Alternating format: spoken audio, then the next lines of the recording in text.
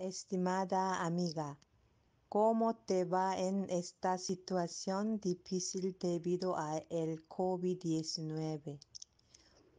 Muchas gracias por su arduo trabajo. Tengamos esperanza y soñemos por un futuro feliz y esperemos un poco más para que se mejore esta situación. Les deseo a usted y a sus amigos muy buena salud y buena fortuna. Estimada amiga, ¿cómo te va en esta situación difícil debido a el COVID-19?